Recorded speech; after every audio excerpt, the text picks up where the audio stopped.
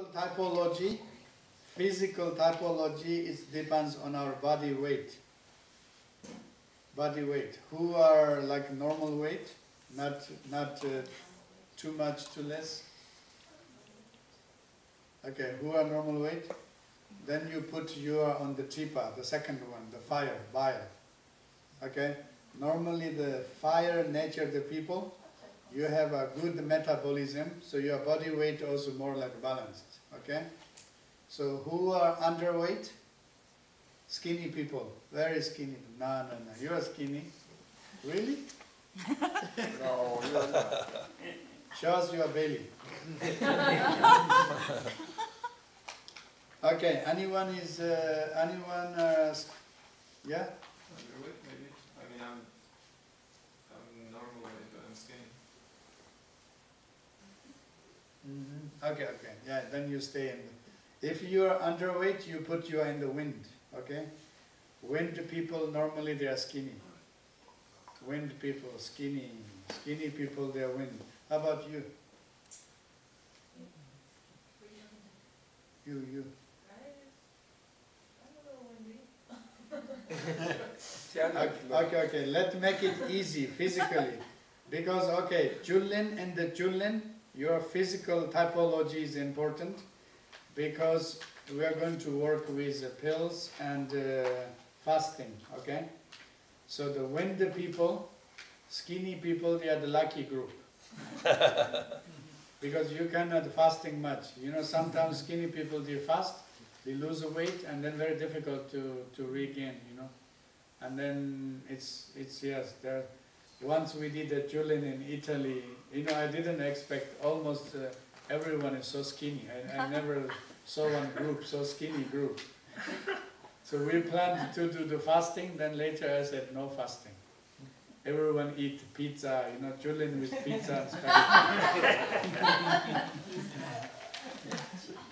and okay so who are overweight? Overweight. Raise hand. Overweight. Overweight group. Little bit, maybe. Yeah, a little bit is okay. Overweight. One, two, one, two, three, four, five, six, seven, eight. You too. Yeah. Okay, I nine. don't, Yeah. think, I don't think so. I'm following.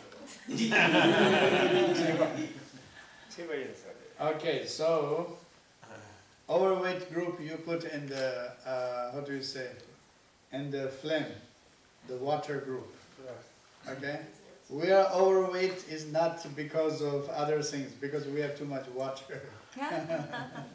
Don't feel bad for that, okay? So that's the water group, phlegm group. And so phlegm group uh, should be, how do you say? Phlegm group should be the fasting group. So normally we do five to seven days of Chulen. If you do the fasting part, for sure also you will lose weight, alright? Let's say from maybe two to four kilos in, in one week, you lose, uh, lose weight, that's for sure. Do you understand?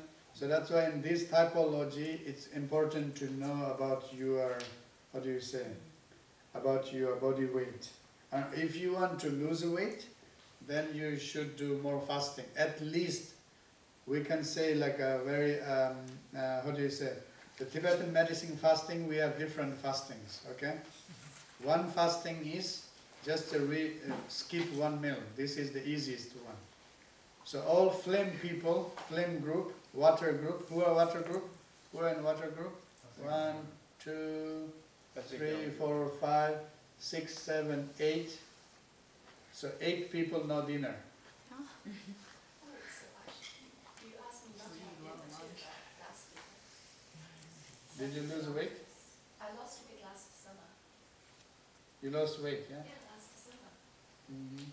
But now maybe I gained again. Okay, okay, no dinner for you. so we are, our group is bigger, nine people, nine people, no dinner. I never eat meat. hmm You never eat dinner? Ah, very good, you're very healthy. We have to eat a You know, actually, it's interesting. This is also the diet diet of His Holiness Dalai Lama, right? His Holiness Dalai Lama, you know, he's he almost eats everything, but he skips dinner. Okay? And that's Buddhist monk, yeah. Yeah, exactly. As a Buddhist monk, this this idea is coming from also from Buddha, right? Buddha told the monks, you know, you can eat everything. It means because monks they don't cook, right? They have to ask food from the village village people, you know. So they they are free to offer anything. That's why the monks they can eat everything, but then they they skip dinner. Okay, so it's very interesting because if you skip dinner, let's say you eat morning 9 o'clock and then lunch 12 o'clock, so it means we're eating food in 6 hours, right? Digesting hours, our digestion system is busy in 6 hours or 7 or even 8 hours, right? But then 16 hours we are free from food, okay? I think that's very, very important for our health, very, very important for our health. Today, if we talk about the cancer, well, number one cancer is the, how do you say, large intestine, colon cancer, right? Number one cancer, both men and women. So lungs cancer is increasing because more people are smoking and air pollution is getting worse and so on. Okay? And then the gynecological cancers are coming, I think that's because of too many hormones. You know, the chicken with hormones, meat with hormones, food with hormones, too much hormones. And, but uh, um, the bowel cancer, I think mainly we are eating too much. Or we are eating in the wrong times, you know, we are eating at the wrong times. So that's why I think if we do the fasting part, or at least, uh, how do you say, skipping the dinner, especially the dinner, not breakfast. You know, many people, they skip the breakfast and they eat a big dinner, and that's the wrong method. Because then in the evening we don't work and we sit, we read or watching movies and this and that, and then we go to sleep, right? Food stays too much in the digestion system. So if you eat in the morning and lunchtime, and then evening when you go to sleep, our, our digestion system is more free, right? Do you understand? I think there is something to do with our, uh, how do you say, it's not only anti-aging, also something to do for our long-term health, you know, mm-hmm. right? Even the cardiovascular disease, blood pressure and so on. Now there's a new research says, if we eat too much of food, liver is always busy, you know. Mm-hmm. Liver is too busy. And now there's a new idea, they think liver has something to do also with high blood pressure, mm-hmm. hypertension, right? Normally it's the heart and kidney and these things, but now they think liver is something to do with uh, high blood pressure. I think also that's true. So that's why skipping dinner is very important. So even you are Tripa people, if you want to take the medicine the next days uh, to skip dinner, I think it's always healthy. Okay?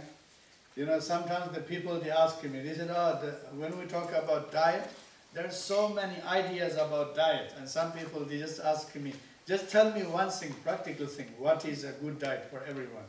So my answer is skip dinner. Okay? Skip dinner. Then you can save more money. right? If you save the money for dinner, in one year you can travel to Tibet. you have enough money to go to Tibet. Yeah? Again, when we're working with the medicines for rejuvenation, it's better to focus more on the physical kind of technology. Yes, yes, yes. And then when we do the uh, there is another thing about you give them the she said? So Tibetan Chulen works like this. There are three um, three different way to, to take Chulen pills. And the first part is called the purging. Do you have enough she said? Okay, let them to take one pill now.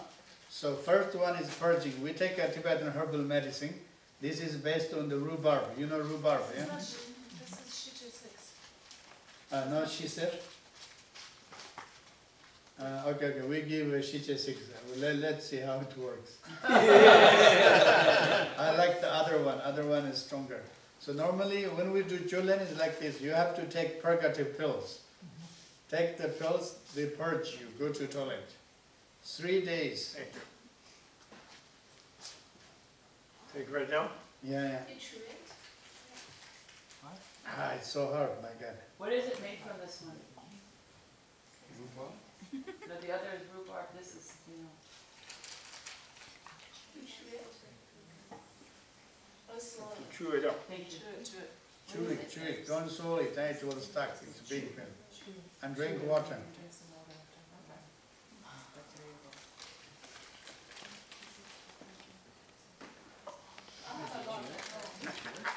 This one?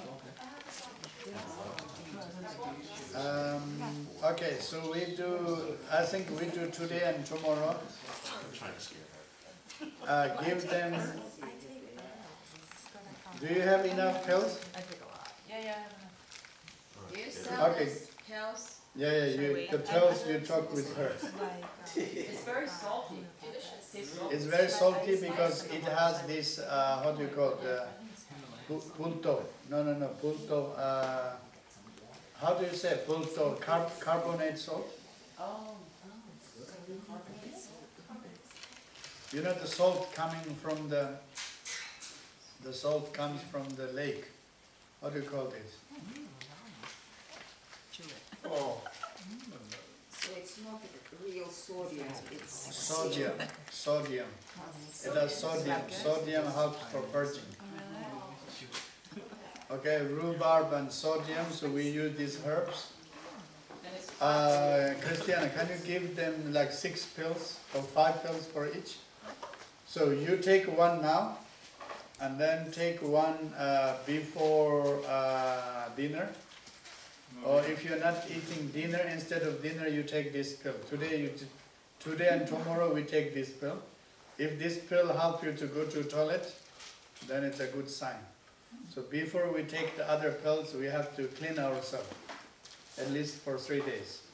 It's also hot, there's a hot taste. What is that? Is that chili? Spicy. Yeah, yeah, the ingredients you ask uh, Christiana. Christiana and Eric is coming tomorrow and all medicine you ask them, okay? If you want, if you want to have more information about the herbs and pills, you ask them, alright?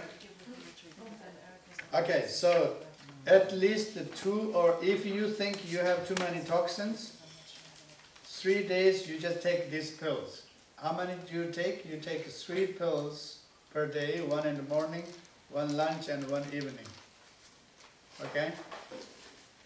Uh, you can still eat food, light food, so in any case this is purging, everything comes out. And if you do a very, very strict Chulen retreat, sometimes for like three to five days you only take these purging medicines. Okay, you reduce your food and then like cleaning more and more. When you purge yourself, you see some like yellow things are coming out, you know, the yellow things like bile, bile fluid is coming, it stimulates our bile too. So that's the sign of like toxins are coming out, like liver is cleaned, small intestine is cleaned, gallbladder is cleaned, okay? So once this purging part is done, and then we take other special herbs, then we take the rejuvenating ones. Okay? Detox, yeah, so this is, this one is a kind of detox, did you eat it? so I eat one now, did you take one in the evening? Yes, yes, dinner? yes, and then One one you tomorrow take morning? tomorrow morning, one lunch and one evening again. Okay, So you need to get, uh, how many pills now? Four. Yeah, yeah, four pills, take the pills from, I have yeah. But in, in case if you get too much diarrhea, you let me know, okay? Don't worry. You must. Now you learn Tibetan medicine. There you go. We have to come in and do this detox every month or every how often? Oh. What is the hot taste in You can do like this detox, yeah, you can do every month or every seasonal. So at least once a year. If you do a good one, you do every month, okay? Otherwise, you do uh, every season. So we do Chulen for like spring, we do then the summer and then autumn and winter. I think normally this seasonal is good, yeah. Seasonal is good, but sometimes you take these some Chulen pills, you can take for six, three months or six months. It says if you take the children, this, this is not for rejuvenating, this is for purging, for cleaning, okay? So once you clean, the- after detox, and then we have rejuvenation. But the rejuvenation, it says if you take, do rejuvenation for one year, it, the effect can last for ten years. So you do it three, four times a year, this purging? Yeah, yeah. You can do, he's, she's asking me about detox. If you only want to do detox, you can do seasonal detox, that's the best. Spring detox, summer detox, autumn detox, winter detox, that's the best way. Okay? But normally with Chulen, first we detox and then we have to take rejuvenating pills.